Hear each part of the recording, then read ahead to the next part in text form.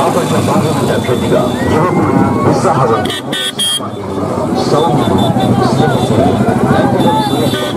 చేస్తున్నారు ఈ ఎన్నికల గుర్తు తమ పవిత్రమైన అమూల్యమైన ఓటును ఫ్యాన్ గుర్తుపై వేసి డాక్టర్ వేరుగ నాగార్జున గారిని నందిగం సురేష్ బాబు గారి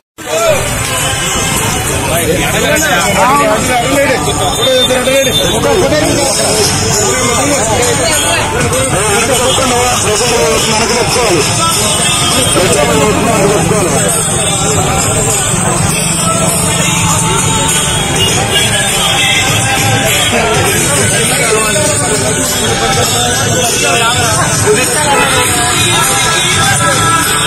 పూర్తిగా మనందరిలో త్వరలో నాలుకలో ఉంటూ ఈ ప్రాంతం ఎప్పుడూ బాగుండాలో బాగుపడాలనే ఆలోచనతో ఆయన మధ్యలో అనేక కార్యక్రమాలు ఉన్నాయి.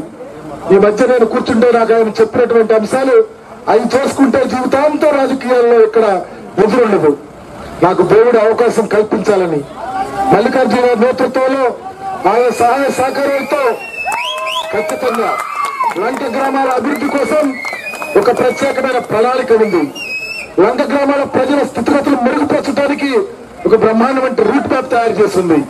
ప్రతి రూట్ మ్యాప్ అంటే పోతాళ్ళంగా ఎత్తిపోతల పథకంలా ఉండదు. మల్లికార్జున గారు అంత గ్రాఫ్ చూపించిన అతని మనసులో ఉన్నది అధికారులతో మాట్లాడి తయారు చేసినటువంటి గ్రాఫ్.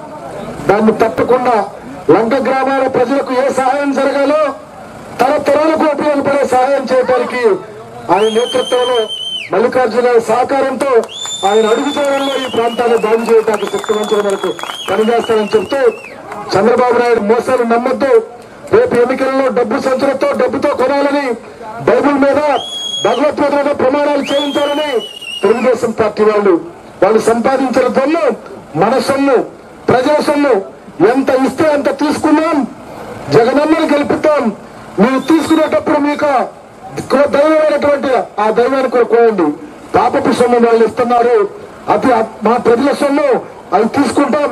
ఓటు మాత్రం జగనన్నకేస్తామని చెప్పి మీరంతా ప్రమాణం చేసి తీసుకోమని చెప్తే ఒక్క విషయం ముందుగా తిప్పలకట్ట గ్రామ ప్రజలకి దళిత వార్డు సభ్యులందరికీ మహిళలమ్మ తల్లికి కూడా ముందు నమస్కారం చేస్తూ తిప్పలకట్ట గ్రామ ప్రజలకి ఆ రోజుల్లో కాంగ్రెస్ పార్టీలో ఉన్నప్పుడు గౌరవ పూజ దివంగత రాజశేఖర రెడ్డి గారు ఒకే పని చేశారు.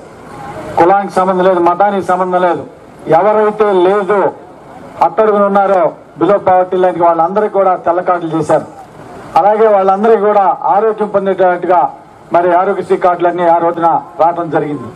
మరి ఎవరో చేయలేనటువంటి ముందుగా మరి ఎవరు ఈ పెన్షన్ అంటే ఇద్దరికో ముగ్గురికి వచ్చేది. ఎవరైతే అర్హులు ఉన్నారో ఆ రోజున అందరికీ కూడా చేయడం జరిగింది.